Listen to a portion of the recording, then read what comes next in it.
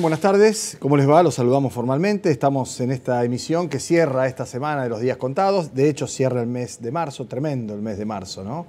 4% se calcula la inflación, que no será menor a la del mes de abril, porque cada mes que vamos poniéndonos en contacto con ustedes decimos tremendo el mes de abril, tremendo el mes de febrero. Ya el año pasado las cosas empezaron a caerse precipitadamente, ¿no?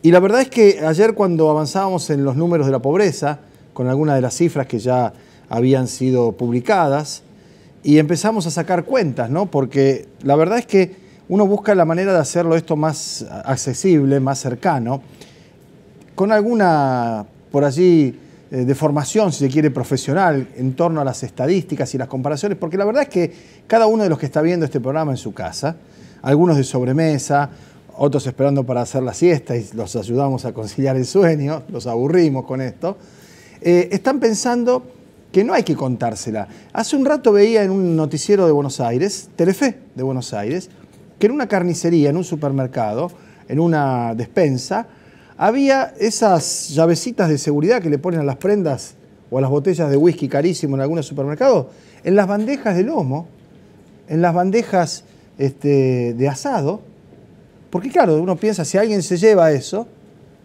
y son 700, 800 pesos y un kilo y medio de lomo de carne, ¿no? Entonces uno dice, ¿esto está pasando? Sí, está pasando. Claro que está pasando. ¿no? Cuando algunos dicen, vamos a Venezuela, Venezuela hay una situación de crisis que es mucho más profunda, mucho más compleja de explicar, pero yo no sé si en Venezuela los chicos en los comedores escolares empiezan a tomar leche diluida. Y si en las góndolas de los supermercados ya la leche en el país donde está este, el granero del mundo, la cuenca lechera, en la provincia de Santa Fe, Sunchales, Leman, toda esa zona, alimento sobre base de leche o a base de leche, ya no es leche. ¿eh? Y cuando cae ese consumo, no hay vuelta atrás en términos de recuperación, porque no es que dejamos de tomar el café Nespresso para pasar al café instantáneo, o dejamos el instantáneo para ir al mate cocido. Esa sustitución en caída libre no se puede dar en algunos elementos y alimentos porque no hay margen, porque hay una matriz nutricional que establece que los chicos en determinado momento de su vida tienen que comer y tener acceso a proteínas, alimentos previamente ya balanceados para su dieta para poder desarrollarse mentalmente. En un rato vamos a estar hablando con la diputada Mónica Macha, que además tiene un máster específicamente en cuestiones relacionadas con esto, más allá de su especialización en psicología como estudio de grado donde todas estas cosas son irreversibles. ¿Qué quiero decir con esto? Que en seis meses, siete meses, diez meses, lo que fuere, este gobierno se va. Yo estoy convencido que es así, pero se va porque el imperio de las urnas, por la voluntad popular, como tiene que ser. Nadie quiere atajos, nadie quiere aventuras, nadie quiere acortar nada. Lo que queremos es que la voluntad popular sea respetada después de que fue violada en términos de estafa electoral. El presidente dijo en marzo del 2017, yo quiero que me juzguen como presidente de acuerdo a cómo combatí o derroté o trabajé contra la pobreza. Peor imposible, peor imposible. En el rato que nosotros estemos al aire, van a haber caído en la pobreza centenares de compatriotas. Como en los 30 minutos que dura este programa, estaremos pagando 30 millones de pesos de servicios de deuda externa. ¿Escucharon bien? Un millón de pesos por minuto. Ese daño, esa situación, genera para el que venga o la que venga una serie de, compromisos o de determinaciones que yo calculo, y usted dirá, pero qué atrevido, qué osadía. No, es, elemental. No se puede pagar más la deuda así. Presumo que habrá, sea Labaña, sea Cristina, sea Felipe Solá, sea Massa, sea quien sea, una moratoria que el fondo ya debe aceptar y que ya debe estar imaginando para el pago de intereses que no sea esta brutalidad. Lo otro es parar con las tarifas.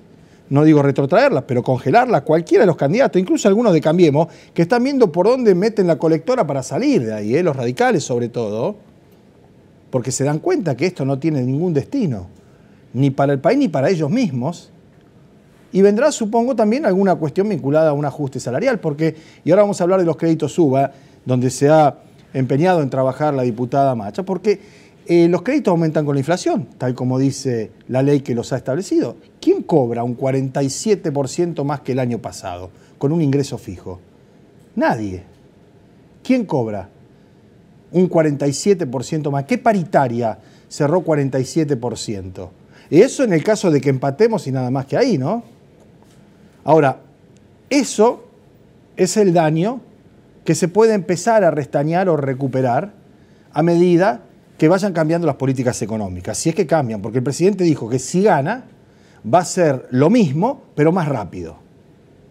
A lo mejor hay una suerte de principio vinculado a la eutanasia en eso, quiero decir, de minimizar el sufrimiento del tránsito hacia la debacle completa. Ahora, ese es el daño del momento y que se pretende restañar. El que no se va a poder recuperar, el que es irreversible, es el que se está generando en los sectores más bajos de la sociedad, donde los chicos no comen proteína, donde las madres que portan embarazos no tienen el suficiente alimento para que esos chicos se formen como debidamente deberían formarse. Todos los campeones de las dos vidas deberían estar preocupados por eso, ¿no? Por si las chicas que están con embarazos en curso, menores de 15 o 16 años, que dicho sea de paso, son el 60% pobres en el informe que ha dado a conocer ahora la Universidad Católica. Los chicos menores de 14 años, prácticamente la mitad de los pibes de este país, son pobres. ¿A dónde está esa preocupación de las dos vidas? ¿Desde qué momento está esa preocupación? Porque ese daño, el chico que no tiene olla, y eso es lo que se comenta en los partidos de fútbol, cuando un pibe se desgarra y es un crack, y vos decís, ¿por qué se lesiona tan seguido? Y porque no comió como tenía que comer en, el en la panza de su madre, el primer año, los dos años o los cuatro años. Lo mismo que el desarrollo neuronal. Lo que no está incorporado a partir de los dos años, que es una esponja, que entra todo ahí, porque no come, porque se duerme, o usted no ve por las calles a las mamás que están pidiendo y los chiquitos están dormidos en su regazo a las 2 de la tarde y pasás a las 7 y siguen durmiendo. ¿Qué crees que es el pibe que es una marmota? No. Ahí hay una cantidad de cosas, falta de estímulo, falta de alimento, falta de una perspectiva diferente. Eso no se arregla, ¿eh? Eso no se arregla y pasa todos los días. Hay 2.700.000 pobres más que el año pasado. Hay más de 13 millones de, de personas pobres en la Argentina. Y sin embargo, hay otro tipo de visión, de mirada, desde el oficialismo que dice estamos mejor parados que el 2015. Probablemente Marcos Peña esté mejor parado porque ahora es jefe de gabinete. Antes tenía un rango menor en un gobierno municipal. Otro tanto el presidente de la República, porque además le, falta menos tiempo para dejar de tener que ir todos los, todos los días a las 7 de la mañana. Y se ve que está afectado por eso. Si uno ve la foto de Macri el día que asumió y ve la foto de Macri ahora, tres años después, el rostro, el gesto, y no creo que sea la angustia y la preocupación de una situación de la cual es responsable en muy buena medida. Entonces, lo que pasa en Verbano, que producía 12.000 platos y vende 1.500 y están suspendidos los trabajadores y el lunes no sé si abre la fábrica, eso es en Bermúdez. Lo que pasa en Baigorria, con los que fabricaban históricamente las máquinas para hacer pan, que también están suspendidos. Lo que pasó en Musimundo hoy al mediodía, calle Córdoba, entre Mitre y Entre Ríos, protestando los empleados de comercio, porque ayer a la tarde, cuando fueron a laburar los empleados a Fisherton, ayer a la mañana, a la sucursal Musimundo estaba cerrada y quedaron 20 personas en la calle. Y lo que pasa en cada uno de los pequeños comercios, talleres y lugares donde no hay una repercusión pública muy elevada, porque se cierra una empresa pequeña con cinco o seis personas, se acomoda, se arregla y pasa de largo. Se cierra el kiosquito o cierra o labura menos horas y el pibe que estaba ahí lo despidieron. Y todo eso que día tras día se va generando en una bola que creo yo no está siendo atendida en los niveles de responsabilidad política que exige esta situación. Estamos viendo mientras yo hablo recortes, tapas, periódicos de distinta etiología, ¿no? de distintas características. Es decir, no estamos pasando prensa obrera, página 12, minuto 1.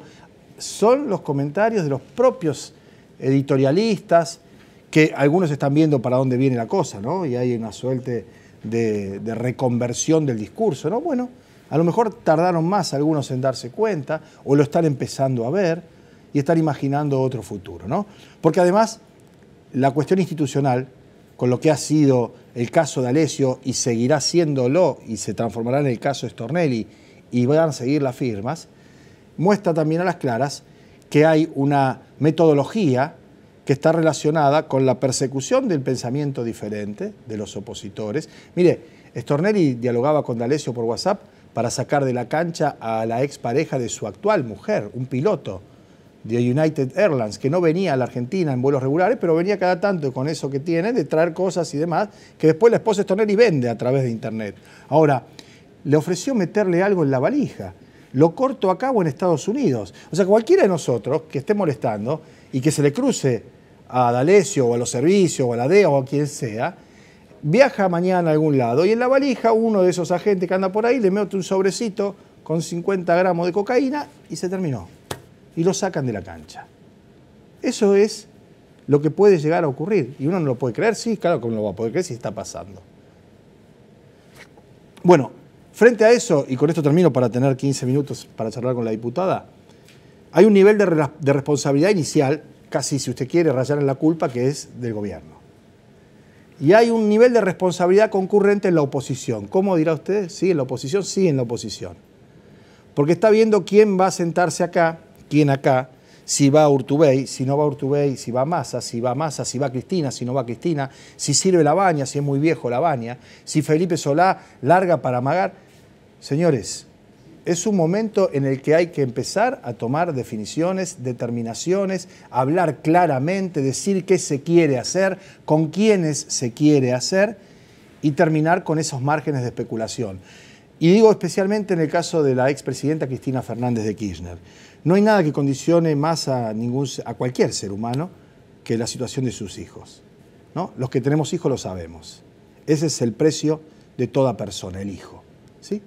Ahora, hay gente como la ex presidenta de la República, como otros hombres y mujeres en distintos niveles de responsabilidad, que saben eso, que toman eso y que evidentemente sopesan todas estas situaciones. Ahora, lo que digo también es que hay un momento y un punto en donde eso tiene que incidir en una decisión que se debe tomar y que debe comunicarse al pueblo, a la gente que espera, a los que tienen la esperanza o no, porque detrás de eso vienen otras decisiones. ¿no? Entonces yo entiendo que Cristina se ha bancado cualquier cantidad de cosas, tiene 10 u 11 procesamientos, ¿no? A ella misma. Ahora, cuando tocan a los hijos, la cosa cambia, ¿eh? la cosa cambia. No obstante eso, uno espera de los que cree que puede esperar. Si habláramos de otro tipo de persona, yo probablemente no hubiera hecho este comentario. Pero creo que ya va siendo tiempo de tomar algunas decisiones y que esas decisiones efectivamente abran una instancia de construcción política alternativa para que la responsabilidad empiece ya a ser tenida en cuenta de otro modo, no únicamente en el gobierno, sino de la alternativa y la crítica pase efectivamente la propuesta. La pausa y cuando volvamos, estuvieron en el Consejo Municipal, hay miles de rosarinos y rosarinas y gente de la zona que está angustiada por el tema de los créditos, lo que era el sueño de la casa, el acceso a una vivienda, en algunos casos se ha transformado realmente en una pesadilla. Enseguida volvemos.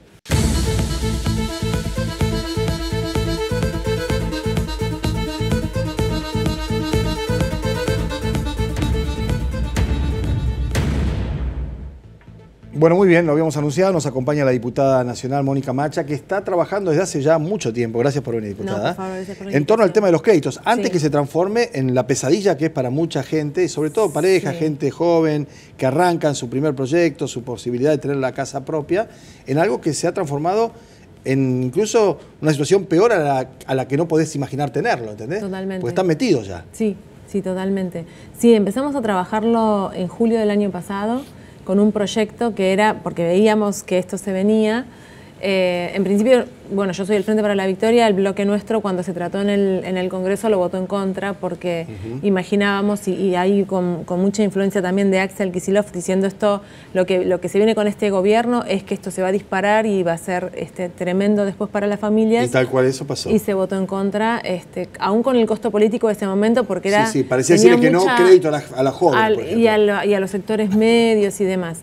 Y, en julio, que empezamos a ver que la situación empezaba a complicarse fuertemente, sacamos un proyecto donde lo que plantea el proyecto es que no solamente se tome la, variable de la inflación para calcular las cuotas de los créditos UBA, sino también la variación salarial. Y de esas dos opciones, que se tomará la que era este, más económica para las personas.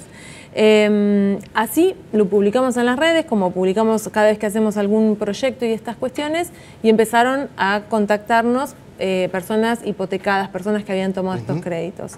Eh, primero de Cava, provincia de Buenos Aires, pero ellas y muchas mujeres, ellas empezaron también a contactarse con grupos de todas las provincias. Claro, a ver qué pasaba. ¿no? Estamos hablando de un universo de 170.000 familias a nivel federal que tomaron estos créditos, más lo que es el, el procrear joven, que no es la línea de procrear que teníamos durante el kirchnerismo, sino que es un procrear que también está vinculado a los créditos UBA.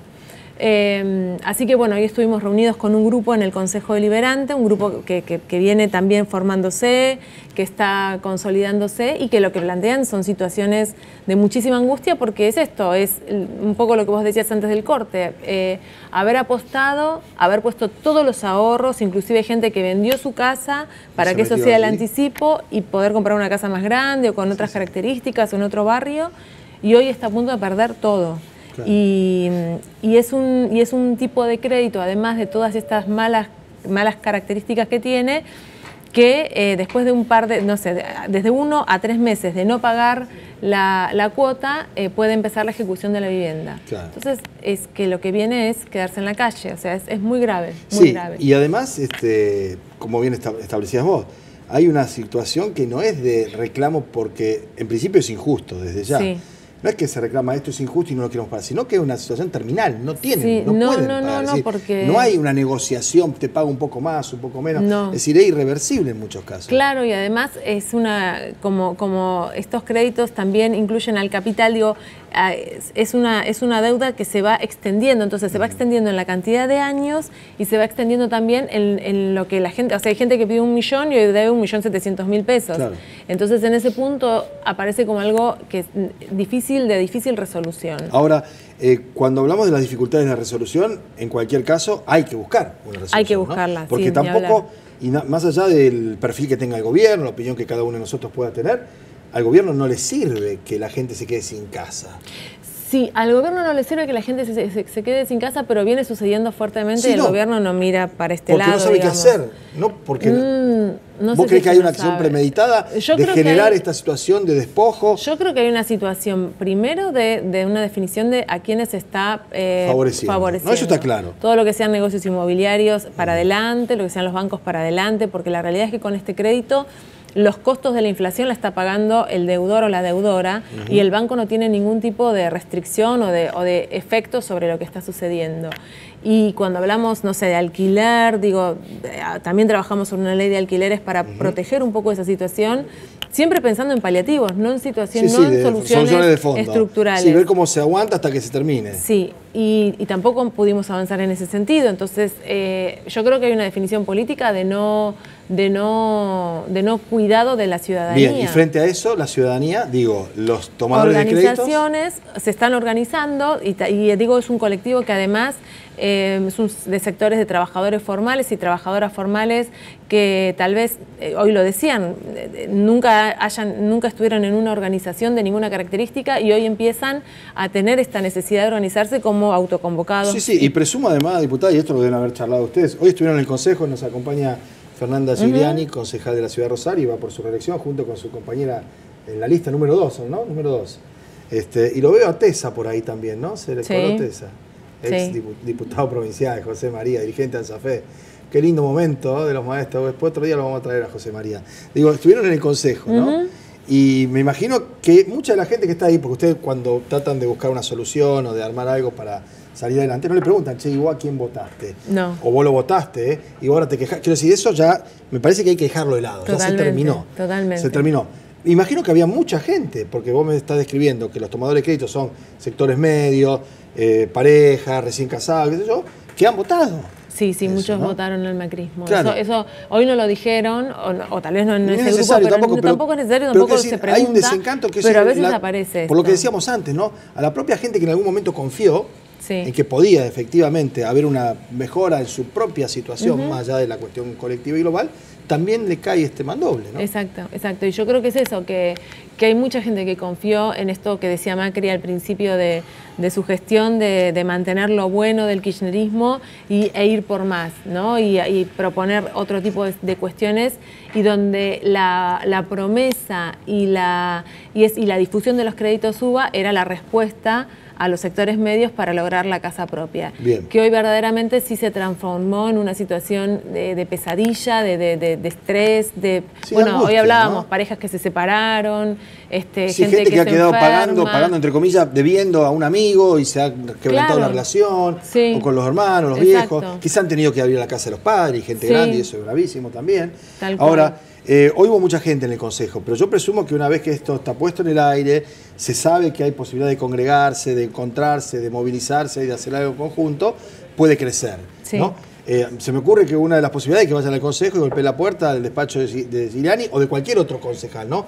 Pero hay una red, hay una organización, hay algún sitio, un modo, una dirección un lugar donde uno pueda recurrir a buscar una mano. En realidad ellos, ellos están eh, se, llaman autoconvocados de cada una de las ciudades en donde están y tienen, se manejan por Facebook. Eso o sea, es Eso o sea, que el que quiere y está viendo este programa tiene que tener una cuenta de Facebook, pedirle a alguien. hipotecado suba y ahí va a encontrar, este, en las redes los va a encontrar, porque son muy activos también en las redes. Y después, lo que sí estuvimos hablando hoy y que son las instancias que se vienen, es que el 9 de abril vamos a tener una reunión en la Comisión de Vivienda del Congreso. Eh, es una de las pocas comisiones que no están presididas por el oficialismo. Eh, vamos a tratar de unificar a toda la oposición para tener quórum en esa, en esa comisión y poder, sesionar, tener un dictamen y después una sesión especial para el 24 de abril. Disculpa, ahí está la página, ¿no? La pueden ver mientras estamos conversando. Pongámoslo en pantalla por si alguien tiene que tomar los datos, la dirección. Bajemos un poquito en el monitor para que se vea bien la dirección ahí arriba. ¿Eh? El www, no sé si usa todavía el www. Yo no lo veo ahí. Ahí está, hipotecados con mayúscula, punto uva, autoconvocados. Exactamente. Perfecto. Bueno, la gente puede recurrir allí.